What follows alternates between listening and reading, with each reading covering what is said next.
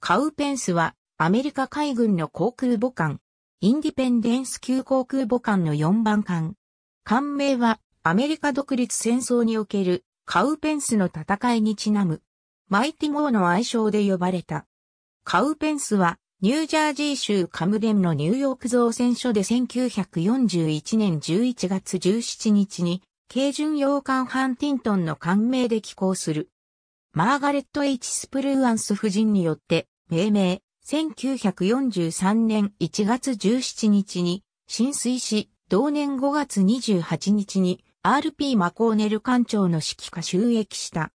同年7月15日に CVL-25 へ艦種変更された。その後、8月29日にペンシルベニア州フィラデルフィアを出港し、9月19日に真珠湾に到着した。カウペンスは第14任務部隊と共に10月5日、6日にウ機、島を攻撃。その後真珠湾に帰投し、マーシャル諸島攻略の準備に入る。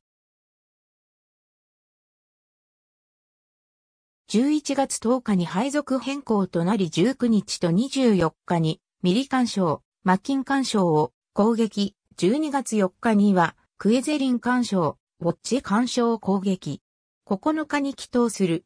1944年に入り、カウペンスは第58任務部隊に加わり、1月16日に真珠湾を出港、マーシャル諸島攻略に入る。カウペンスの関西機は1月31日に行われる上陸に先立ってクエゼリン及びエニウェトク干渉への攻撃を行った。任務部隊は無血占領したマジュロを拠点とし、2月16日、17日にトラック島への攻撃を行い、21日、22日にはマリアナ諸島へ攻撃を行っている。3月4日に真珠湾に入港した後、第58任務部隊は再びマジュロからカロリン諸島への攻撃を行い、その後3月30日から4月1日にかけてパラオ、ヤップ島、ウルシー干渉、ウォレアイ干渉を攻撃。カウペンスは関西機を対空、対戦哨戒任務に提供した。4月21日から28日まで行われたホーランディア攻撃の間、カウペンスはニューギニア沖での任務を行い、その後4月29日と5月1日のトラック島、サタワン干渉、ポナペへの攻撃に参加、5月14日に訓練のためマジュロに帰還する。1944年6月6日から7月10日まで、カウペンスはマリアナ海域で作戦活動を行う。関西機はサイパン島の地上部隊の支援を行い、硫黄島、パガン島、ロタ島、グアム攻撃の支援を行った。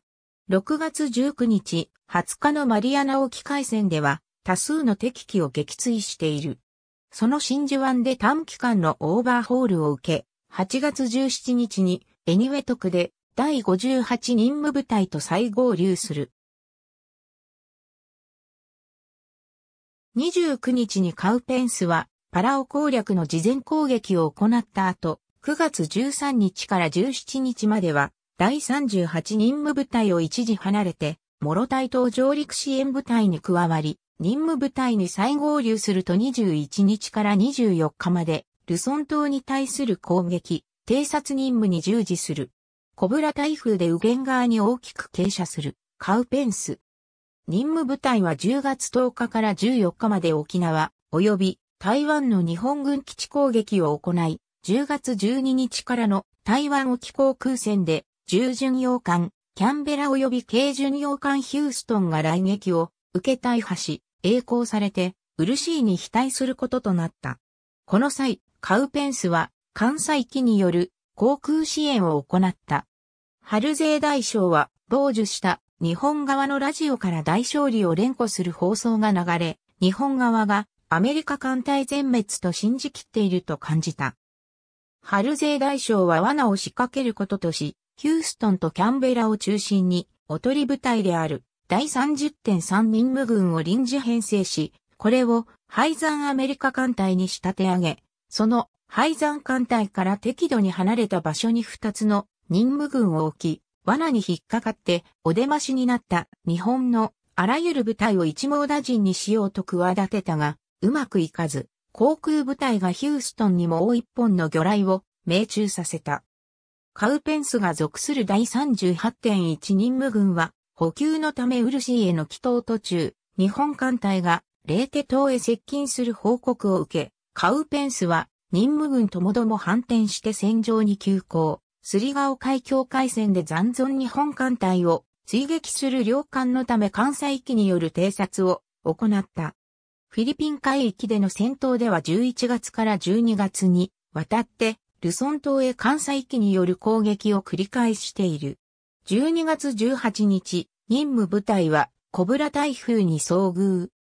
カウペンスは格納庫甲板で火災が発生し、乗員の一人といくつかの関西機、設備を失うが、熟練した乗組員による対処で、火災は約2時間で消し止められ、大きな損害を被ることはなかった。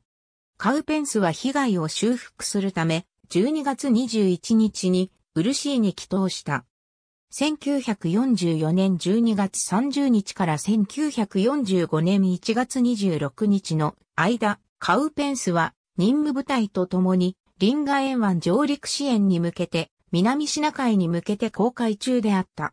カウペンスの関西機は1月の間、台湾、ルソン、インドシナ海岸及び香港関東地域、沖縄に対して攻撃を行った。任務部隊は2月10日から洋島上陸部隊の支援を行い、2月19日から22日までは上陸支援のため関東地区への攻撃を行った。3月1日には沖縄に対しても攻撃を行っている。その後カウペンスは本国に帰島し、サンフランシスコでオーバーホールを行った。真珠湾で訓練の後、カウペンスは6月13日にレーテ島サンペドロ湾に向けて出港した。途中、同じくサンペドロ湾に向かう空母歴シントン及びハンコックと第12.4任務軍を構成しながら任務軍は6月20日にウェーク島を攻撃し、関西機は新型の白リン爆弾で攻撃した。サンペドロ湾に到着すると、第38任務部隊に再合流する。7月1日、任務部隊は日本本土に対する最終攻撃のため出撃し、7月10日以降、東京や呉をはじめとして、本州、北海道の様々な都市に対して8月15日まで関西域による攻撃を行った。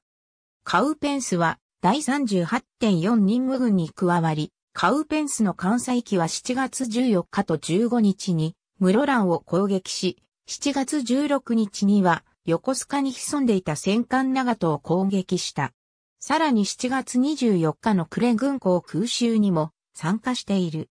戦争が終了すると、カウペンスも上陸が始まる8月30日まで東京湾に泊まり、その後日本の残存艦艇や飛行場に対する写真、偵察任務に従事、戦時捕虜収容所への供給任務を行った。カウペンスからの要員は、連合軍が横須賀飛行場を再使用する際に配置された。1945年11月8日から1946年1月28日の間にカウペンスは福音兵輸送のマジックカーペット作戦で真珠湾、グアム、沖縄への2度の航海を行った。カウペンスは1946年12月3日にメアアイランドで予備役となり、1947年1月13日に退役した。